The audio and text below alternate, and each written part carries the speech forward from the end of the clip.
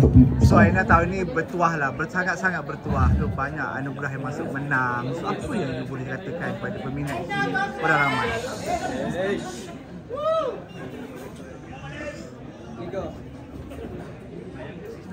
Hmm. Makbul eh doa kucing saya. uh, Diorang tengah tunggu je tu Tunggu wet food daripada saya balik ni uh, Assalamualaikum semua. Uh, Alhamdulillah. Hmm, Saya tak menjaga langsung uh, kemenangan ni? Because uh, is, ya, Apa ni nak cakap? Hmm, Perjalanan ni tak mudah. And uh, It's because of the fans lah. 100% the fans. And and also of course kepada juri-juri dan juga kepada Berita Harian, kepada TV3, kepada Combo, terima kasih kerana uh, memberi peluang kepada Aina Abdul untuk uh, anugerah ini.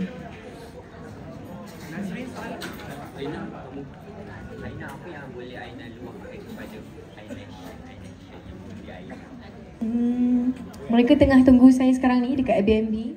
Uh, I think one of the reason kenapa saya masih rasa tak settle down is because saya tak nampak lagi wajah-wajah iNations yang mengundi. Uh, I know most of the uh, voters yang mengundi. Um, saya sempat join dua dua ketiga. Abang dah bad-bad. Uh, saya sempat uh, uh, masuk ke dalam Google Meet and, and I get to witness undian mereka set, uh, malam ke malam lah. Jadi saya tahu uh, jasa mereka, saya tahu ada yang mengundi tu sambil makan, sambil uh, buat kerja kat laptop pun ada. Jadi kemenangan ni sebenarnya uh, it will be complete later. Kejap lagi baru saya akan come back being myself apabila saya dah jumpa dengan iNation semua. Aina cantik susunan awak tu kan I mean 10 tahun dalam industri dan anda berjaya memegang bintang paling popular Hmm. Uh, saya sebab tu saya tak menjangka langsung because uh, nak mendapat bintang paling popular ni it, it takes a lot of a lot of things a, a lot of sacrifice also and a lot of uh, orang kata uh, masa dan tenaga dan juga um, yang saya kena uh, macam nak cakap 10 tahun dalam industri ni tak sia-sia lah orang kata dalam industri and I know um, it's a bit selfish untuk saya highlight 10 years. Saya I believe there's a lot of uh, celebrity dekat luar sana yang uh, mungkin lebih lama daripada saya. But I just want to highlight this kemenangan ini kepada ibu saya kepada uh, abang saya uh, dan juga kepada um, nations yang mengundi uh, berjuta-juta. I hope uh, karya-karya saya yang selepas ini dapat you know dapatlah. Uh, orang kata pay something. You know I, I know that tak ada wang ringgit dekat dunia ni yang boleh membalas jasa mereka but I think I really hope the songs yang saya akan keluarkan karya-karya projek-projek yang saya akan keluarkan selepas ini akan membuatkan mereka happy lah. Aina, selain uh, pengorbanan yang Aina mention tu um, terlalu banyak di luar sana yang Aina gantikan kan? Pada tu mungkin Aina untuk Um, bagi saya kemenangan bintang paling popular ni dan juga penyanyi wanita popular ni ia adalah uh, it's actually a reminder untuk saya kerja keras and kalau kata saya happy saya takut sebenarnya saya nervous saya takut saya gemetar because this means that I have to prove a lot of things to the industry. Saya perlu buktikan kepada dalam industri ni. But at this 31 years old, I feel like as long as saya jujur dengan karya saya and jujur dengan apa yang saya ketengahkan, insyaAllah lagu itu akan melekat, lambat cepat atau lambat akan melekat. Dan um, itulah. Kemenangan ni sebenarnya quite scary. Adakah ada mimpi Aina 10 tahun dulu nak, nak capai reach this, this destination?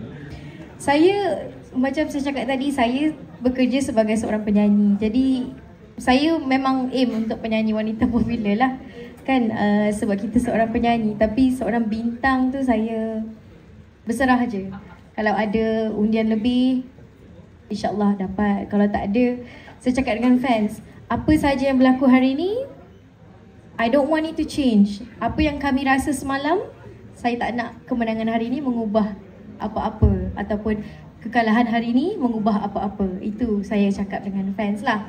So Ya. Yeah. Enak, atas stage tadi ada sebut doa ibu antara yang menjadi penguat Aina juga sini. Mungkin sebesar mana Aina boleh gambarkan al, apa, ibu sebagai tulang belakang Aina pada 10 tahun sehingga berjaya sampai ke tahap ini. Uh, mak saya ni is uh, she's very cute and very mysterious person. Um, di awal career saya, mungkin uh, ini bukanlah career yang diidamkan oleh ibu saya but uh, ever since uh, arwah abah uh, meninggal dunia uh, mak saya yang menggalas tanggungjawab itu dan beliau support saya 100% I think even more than me dia yang inginkan uh, kejayaan ini. Jadi um, I think semenjak tahun 2009 sampailah sekarang mak saya punya doa tu betul lah orang cakap doa ibu tak ada hijab and benda tu terbukti malam ni. And uh, I can't wait to meet her later. Because I know she's mak saya mungkin tak tahu result lagi. Macam saya cakap dalam live tadi mak saya jenis yang record program. So dia akan tengok lepas semua orang lepas saya dah balik baru dia tengok. Dia nak tengok sama-sama dengan saya.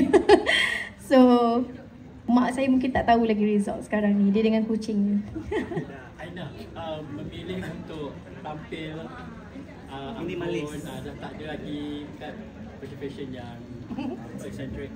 So, Okay, um, sebenarnya ha- untuk tampil hari ini berkebaya macam ni, ini adalah pilihan saya. Kerana tahun ni saya cakap dengan tim saya, saya nak manis-manis. Saya nak orang kata bila saya datang award tu, saya boleh enjoy the show. Dan kalau ada rezeki, senang saya bergerak. Uh, macam tu. Jadi, um, tim saya sambut baik uh, idea itu. And uh, kebaya ini uh, alhamdulillah disiapkan oleh Amaze. And um, ada signature yang saya cuba tampilkan melalui baju ini sebenarnya. And kemunculan bas tadi pun ada reasonnya juga. Uh, bas itu dibalut dengan poster Imaji Tour dan fans semua dan uh, kru semua Aina Abdul Entertainment semua memakai baju Imaji. Itu adalah lambang saya nak mengatakan uh, yang saya tak sabar nak bergerak dengan bas saya untuk touring album. Uh, kerana Imaji adalah anak saya yang pertama, uh, album saya yang pertama. Jadi penampilan hari ini pun ada maksud sebenarnya. Uh, saya nak hadir sebagai Nurul Aina uh, kerana to my fans, I will forever be their Nurul Aina. Walau pelik macam mana sekalipun, bila saya jumpa fan saya, I will break the character. Saya tak boleh nak nak serius lama-lama. So, I want to be present uh, present today sebagai seorang yang minimalis tetapi dengan cara tersendiri. Uh. Jumlah undian 8 juta. Aina menjangkakan tak Aina seramai itu yang mampu undian undian kebaya Tak. Angka yang terlalu besar pada saya ni 8 juta. Tak, saya saya saya tak sangka lah sebab kadang-kadang uh, mungkin banyak yang mengundi di luar juga daripada iNations Fan Club. So yang saya tak tahu dari mana datangnya undian-undian itu. Jadi um, itulah yang buatkan saya lagi sebab sebab saya rasa saya tak menang malam ni. Um, honestly, saya uh, tak menjangkakan keputusan tadi lah. Jadi, thank you kepada semua yang mengundi uh, yang menjadikannya 8 juta. Terima kasih. Yeah. Because um, dalam hidup kita, um, ke- kejayaan tu kadang-kadang boleh menjadi satu dugaan.